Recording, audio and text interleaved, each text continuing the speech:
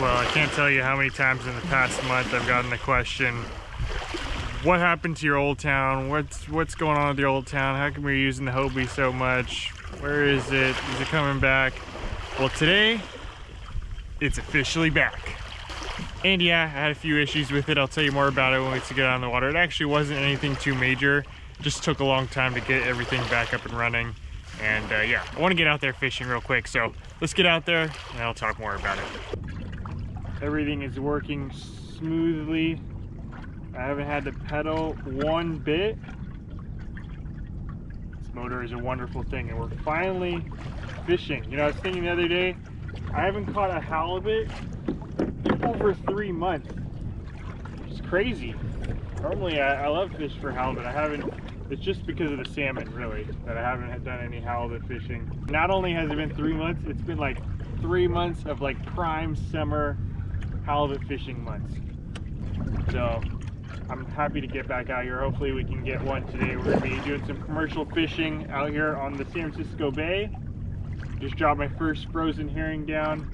Gonna be trolling this basically this way. I'm also meeting up with a couple of buddies out here. Well, one buddy who you'll see in a bit here. But anyways, we're halibut fishing. It's been too long. All right, I got this one down. But anyways, it's all working now. We're trolling. I got one rod in. I'm gonna put one more down. I don't really know how the halibut bite's been. Like I said, it's been so long. Not only I haven't caught one in three months, I also haven't fished for him in three months. So, um, yeah, I have no idea how the bite's gonna be. Could be lightning quick, could be red hot, or it could be totally dead. We're gonna find out today. All right, I got both rods in now. I could do more, but I only brought two today. And once again, the only reason I'm able to run two in the San Francisco Bay is because I have a commercial fishing license. So normal sport fishing is limited to run one rod per person uh, in the bay. I always feel like I should mention that just to avoid any confusion. And then I'm also running a little test. So on this rod, I'm just running straight frozen herring. And on this rod, I have a flasher in front of my frozen herring. It's one of the triangle spinning flashers. I'll show you later. Hopefully, can catch something on both, maybe one or the other. It, personally, I'm on the side where I don't think the flasher really matters too much, but nice thing about using two rods is I can test different stuff. So we're going to directly compare the two right now. Flasher on this one, no flasher on this one. We'll see which one outperforms the other. So back to the kayak. I know everyone's been wondering what's going on with the kayak. I had four pretty minor issues with kayak, but four issues nonetheless that were kind of putting the kayak out of commission. The first two were very simple fixes. One was a little bracket right here on the seat, and the second was this rod holder back here. This is the rod holder that's flush with the uh, kayak. It comes with the kayak, it's bolted in and everything. Those two were very simple fixes. Literally, probably took me less than 60 seconds to fix. It's just unscrewing one, popping in the new one, and then screwing in that one in. So those were very simple. I just had to wait, I don't know, a week or two for the parts. And then after that, I realized the kayak still wasn't working. I couldn't get the motor to start for some reason. So I wasn't really sure what was going on there. I had to run a few tests. Um, and then I finally figured out that it was a socket or a, an outlet up here in the front that the motor plugs into that I had to replace. So that one was a little bit more complicated just because there's some wiring involved, some electrical involved, but still I'm no you know, electrician or anything, and I was still able to fix it. Uh, I'd say that probably took me 15 minutes or so. And then finally, after that happened, then I realized that my battery wasn't working. So that was unfortunate, but luckily the battery was under warranty. So I had to, I was able to ship it in. They sent me a new one, a replacement battery. Um, and. So that one probably took the longest just because I had to ship the old battery in. They had to make sure it was under warranty, you know, whatever. And then they shipped me a new one back and I had some shipping issues where they shipped to the wrong address and uh, separate. But anyways, that's why it took so long. I had, those are the four basic issues that I had. None were like super labor intensive. It just took a lot of time to ship stuff back and forth, figure out what the issue was and all stuff like that. So anyways, that's where we're standing out. Now I feel like I have a new kayak almost. All the wiring is new.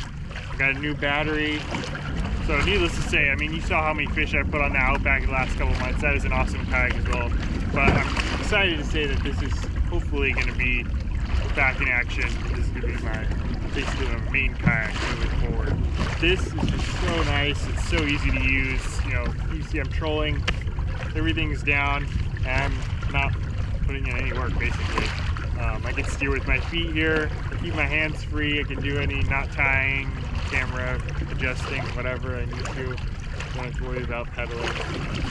People always ask me all the time, you know, which kayak do they recommend? Do I recommend? Do I recommend getting Outback or the Old Town or whatever different kayaks are out there?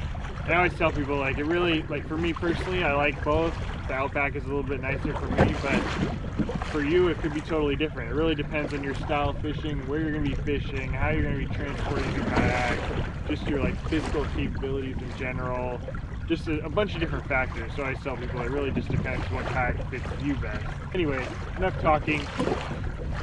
Looking for a halibut here. I haven't had any bites yet. I'm kind of surprised. I feel like I went through a good area there. And didn't even get a tap as far as I saw. So let's focus up. Let's get us a halibut.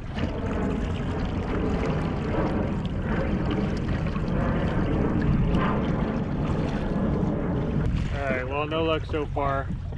I worked my way out deep and now I'm going to start working my way back in shallow.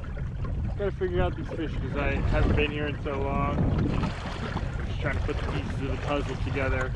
Just brought my lines up to check them. It's always good to check your lines every, you know, so often just to make sure you haven't snagged up on any, you know, kelp or something down at the bottom that's messing up the action of your bait. Um, so I always like to periodically check them, I'd say at least every half an hour.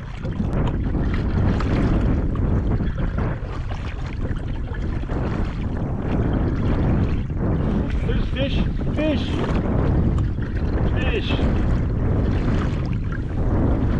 Got one. Pretty sure it's a halibut, probably a little shaker.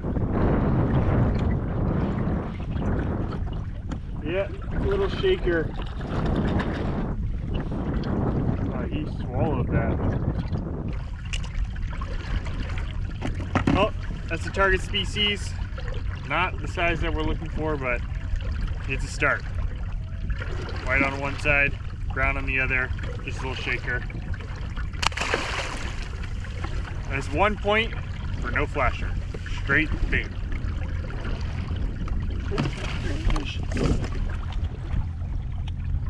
fish.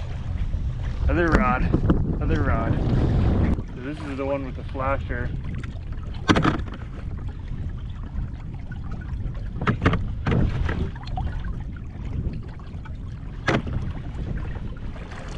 Coming up.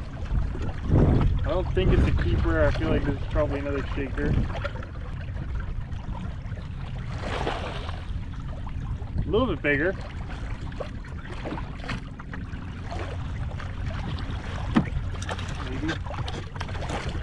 bigger. Release, man, look at that. He shredded that bait up.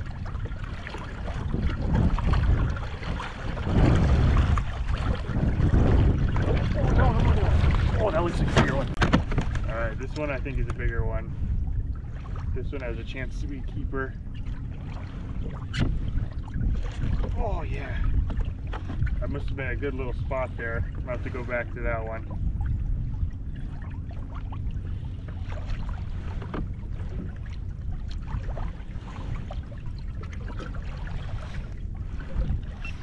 Oh no. Oh. Swimming up for a second. Oh.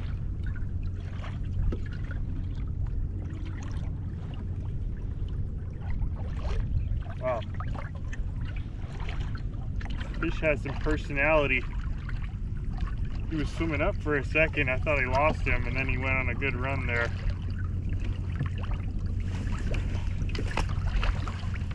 He's a good fish.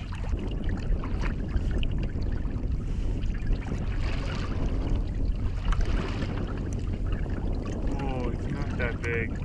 I hooked him. Dang it. I thought that one was bigger. Well, getting there. A little bit bigger. Not quite keeper though, pretty sure. So what happened on this one is So we're using two hooks, right? There's a, a treble on the back and then a single hook in the front. Obviously ate the bait, and that treble went in the mouth, and the second hook swung back around and got it right on the side there. So that's why it felt a lot heavier than it was. It was kind of coming up like a. We're working our way up. First one was probably 12, next one maybe 13, 14. This one's probably close to 20 inches. All right, quick little measure here. I don't think he's gonna make it, but just check. Yeah, 21. There we go. All right, let's look for a keeper next. All right, so getting everything set up back here again. Like I've said it many times before with halibut, they're not a schooling fish like a like a salmon or a striped bass, something like that. But they will group up together, and I think what happened right there when I hit that double is I hit a little group of them. So um, most likely, it's not just a group of two; it's probably a group of many, many more. So I'm gonna try to circle back around and hit that same little area. And if we're lucky enough, maybe there's another one there waiting. And if we're lucky, even luckier, maybe you'll be a keeper.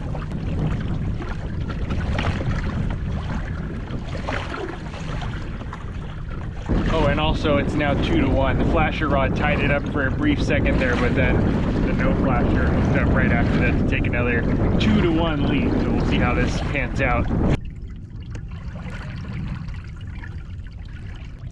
Well, I circled back around where that little spot was where I got those two hookups back to back, boom, boom. Nothing.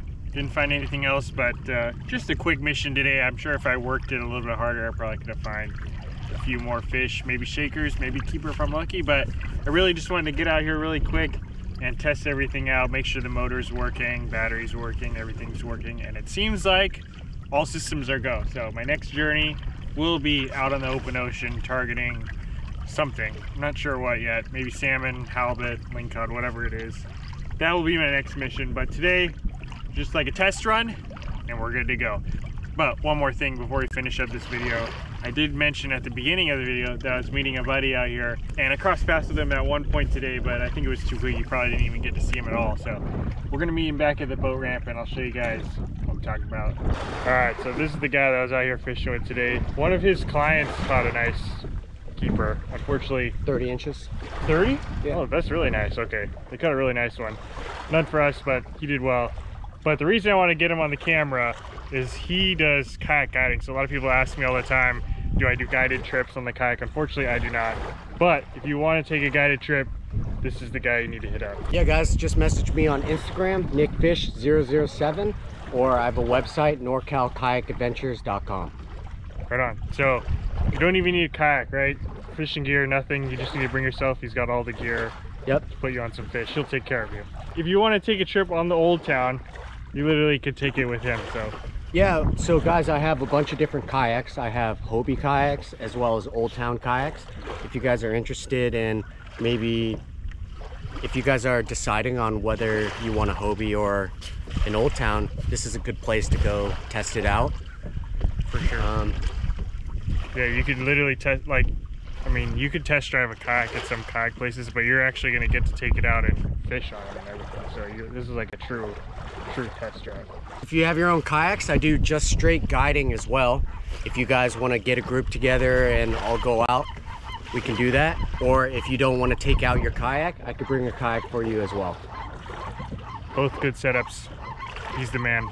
Nick Fish, 007 on Instagram. Thanks, or Nick guys. Fish on Inst- or uh, Nick Fish on uh, YouTube. Thanks, guys. Thanks, Adam. Yeah. So, anyways, I know you guys ask me all the time about guided trips. He's the guy you need to up, and I'm sure you've seen him in plenty of my videos if you watch this or if you follow the channel. So, anyways, that's gonna wrap it up. Another day out on the water, back to Old Town. Back up and running. Look forward to more videos on Team the Old Town. He's got Old Town too. I'll leave his link, his information linked in the description if you you guys want to hit him up. So, anyways, Nick Fish, guided trips. We'll see you guys out on the water. Thank you, Adam. Thanks for watching.